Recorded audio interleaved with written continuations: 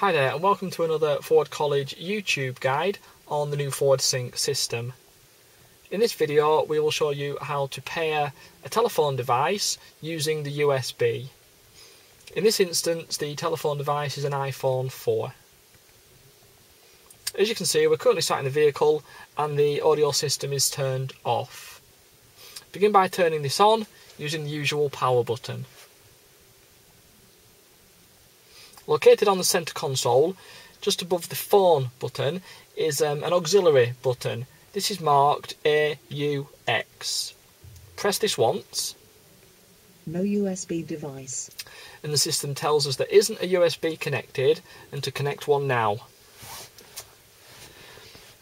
As you can see, the iPhone 4 currently has the USB connected to the phone, but not to the car. To connect it to the car, the armrest between the two seats has a cover. If you lift the cover, you can then dock the USB lead.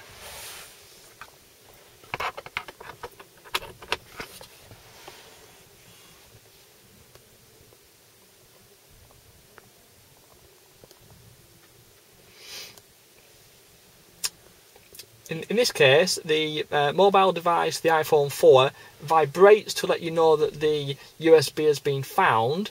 And if you can see the LCD screen, um, it's actually auto played the music. And I will prove this by just turning it up.